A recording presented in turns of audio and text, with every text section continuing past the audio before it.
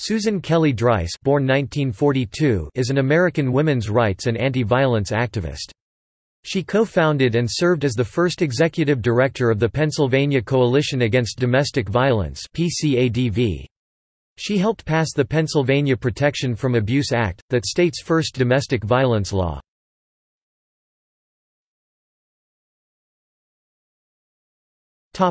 Life and career Kelly Dreiss was born in Pennsylvania. She attended Carlow College and West Virginia University. She served on the Pennsylvania Commission on Crime and Delinquency and was a founding member of the National Network to End Domestic Violence. She was inducted into the National Women's Hall of Fame in 2009. Susan Kelly Dreiss worked on behalf of battered women and their children for over 30 years.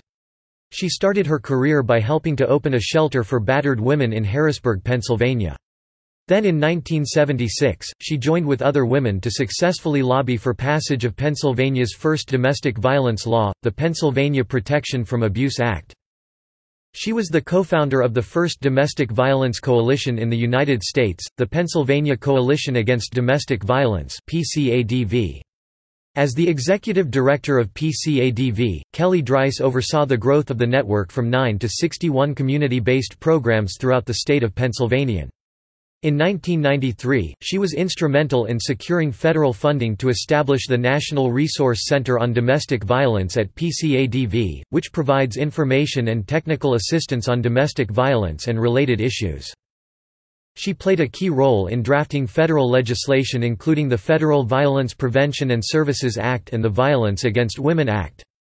She served in leadership positions on family violence task forces under two Pennsylvania attorneys general, and was appointed by Governor Tom Ridge and reappointed by Governor Ed Rendell to the Pennsylvania Commission on Crime and Delinquency. Susan Kelly Dreiss was the recipient of a National Crime Victim Service Award and mentored and motivated women to carry out the work of the battered women's movement.